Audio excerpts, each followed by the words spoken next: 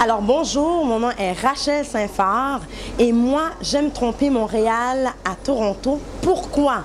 Parce que c'est le meilleur endroit pour aller proche de chez soi et avoir l'effet new-yorkais, les gratte-ciels, le centre-ville, euh, tout ce qui est beau, fashion show, surtout, surtout pour les films de Toronto.